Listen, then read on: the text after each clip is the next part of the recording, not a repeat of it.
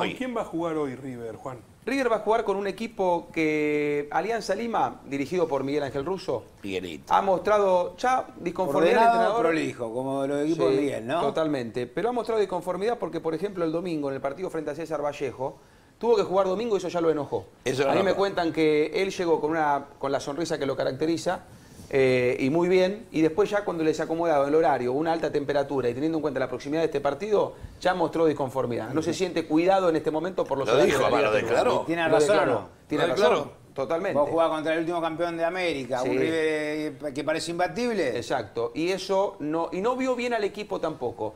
Los equipos de Miguel Ángel Russo se han eh, caracterizado por tener buen juego, asociaciones, bueno, hemos visto también buenas versiones, ¿no? El Boca de la Libertadores de 2007, el Vélez campeón 2005, ha pasado Central. un tiempo, pero el Central también, el Central que ascendió a Primera División. Bueno, este es un equipo que está rompiendo líneas, que está jugando largo por momentos, que no termina de, de ser eh, seductor en el juego, en el juego que lleva adelante. Es un equipo con algunas limitaciones, pero que tiene nombres propios importantes. Hemos hablado mucho acá de Pedro Gallese, del arquero. ¿Cuántas veces hemos hablado de Pedro Gallese y lo que ha generado en la selección peruana, lo que ha generado en la prensa, lo que ha generado en Horacio Pagani, por ejemplo, en lo que fue aquella previa del partido frente a Argentina, donde lesionado fue una de las figuras. Bueno, Pedro Gallese, que estaba en México y no tenía continuidad, Gareca lo llama a ruso para decirle, déjalo atajar en Alianza Lima porque necesita continuidad para estar en la selección. Entonces, alguien que estaba en México y que juega en la selección, vuelve a la Liga Peruana para tener continuidad.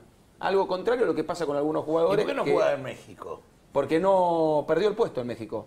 Entonces, ¿qué, Entonces, qué por ahí hicieron? no era tanto, bueno, me- no sé. me Bueno, llegaron pero a mí. Está bien, está bien. Yo te digo que en la selección anduvo bien. En la selección anduvo bien. Muy bien. Muy bien. Entonces llega Alianza Lima por, por este pedido expreso del Tigre Gareca. Y relega a Butrón, que era el arquero titular, al banco de los suplentes. Hay un jugador y lo van a ver mucho. Rodrigo Cuba, juega lateral por la izquierda, ténganlo en cuenta.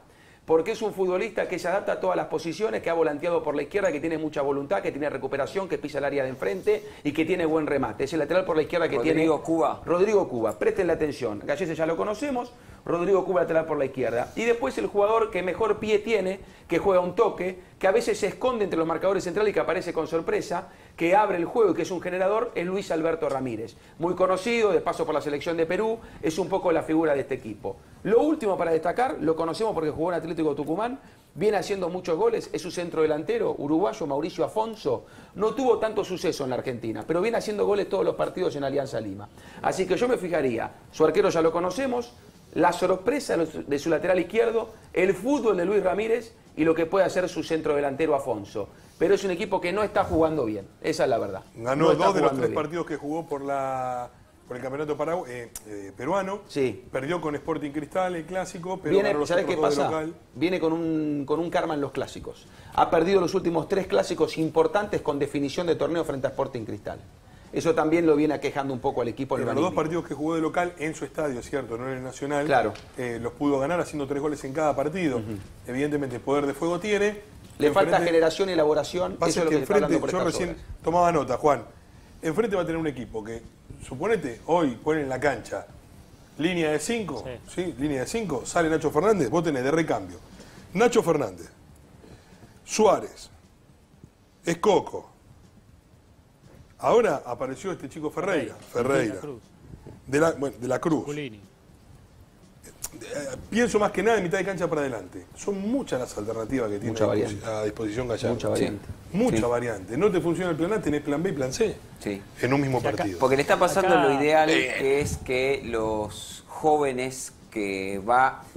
Y no nombro a Julián Álvarez a porque poco todavía no volvió. A mí me hace acordar a lo que le pasaba a Vélez en algún momento. Vélez tenía buenas inferiores, pero además los iba poniendo de a poco en un equipo consolidado y es mucho más fácil que cuando vos José, insertás Pandolfi. cinco o seis jugadores juntos. Entonces River va insertando a, eh, en su momento a Palacio y le rinde, ahora lo está insertando a Ferreira y le rinde. Julián Álvarez es un jugador que está recuperando porque no hizo pretemporada.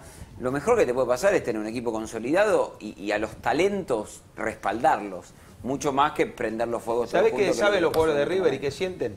¿Qué que sienten? son los mejores en el continente hoy. Y eso también le marca una diferencia importante.